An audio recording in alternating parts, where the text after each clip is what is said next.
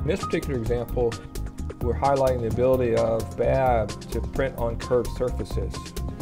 Uh, earlier, an image of a patient's heart was imported into TSIM, and the upper region of that heart was extracted within the TSIM computer modeling environment.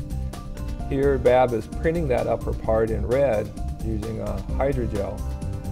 And the, uh, the technician then has incorporated the addition of new blood vessels onto the surface of the heart.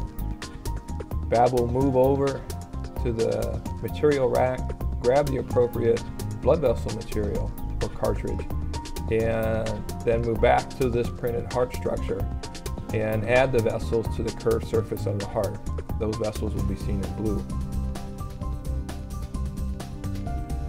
Once constructed, we can then use this as either a model to guide our thinking or as a means to experimentally explore how best to grow vessels onto the surface of a constructed heart tissue.